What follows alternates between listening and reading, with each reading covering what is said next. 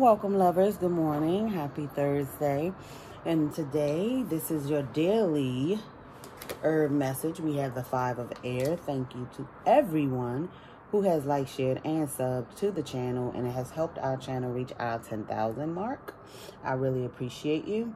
So, we have the five of air, white sage, and we have the Hierophant with cacao. So, five of air. Long held beliefs may not be rooted in reality. Refuse to go along with the crowd. Believe the threatened, oppressed ones. A spiritual crisis challenges long held beliefs. Though your conscience pulls at you, you are reluctant to let go of your opinions. Rise to the challenge, accept the truth. White sage has become a trendy spiritual tool. It is sacred to many of the indigenous people of North America whose traditions are widely misused. Development and erosion, hold on, sorry, development and erosion also threatens the survival of this species. White sage is teaching us to protect what is holy. It rids the air of toxins, but it is also a valued medicinal. Clear the path, listen to others, and make room for healing. Seek a solution that is beneficial to all. Crafting with the five of air. Familiarize yourself with the origins of your spiritual tools, where the botanicals are grown, and where the practices come from. Get to know plants local to you for burning and sacred rituals of your own making.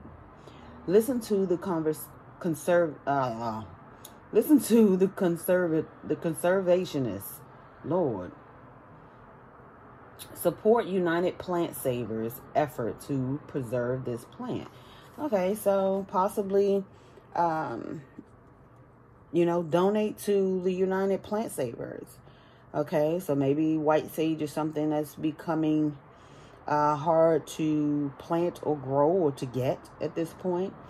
So donations help. That's sometimes how you give back. That's a part of um, you know, that's like a part of, you know, say your tithes. If you don't attend church regularly, think of it as a way of you giving back, you know. And so at the bottom we have the Hierophant. So let's get that. A revelation is at hand. Seek the truth in spiritual teachings. The most potent wisdom emerges from the heart. The secrets of the mm-hmm. sacred are available to all. Learn them, teach them. Drinking pure cacao is an ancient practice that leads to greater perceptive awareness by opening the heart. Commercial chocolate is cacao stripped of its beneficial properties, cloaked in delicious yet harmful ingredients. Only true cacao can be can open the capillaries and increase blood flow. Spiritual teaching must speak authentically to reach the heart, but some things must be revealed slowly.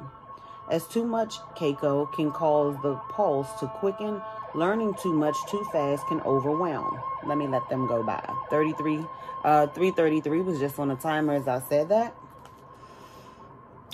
Have patience with the pace of the divine. Remain devoted to mystery, yet have respect for ceremony. Crafting with the Hierophant.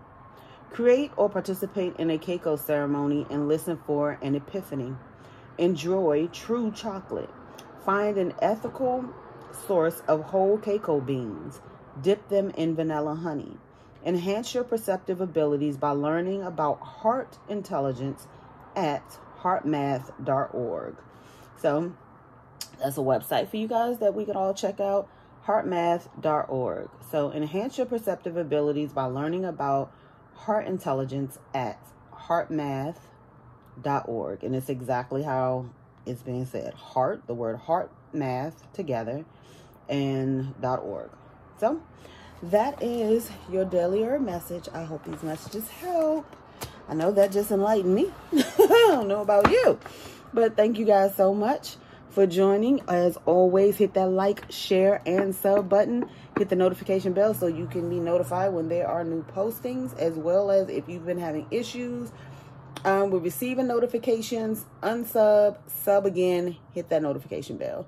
Love you guys. Have a wonderful day. Peace.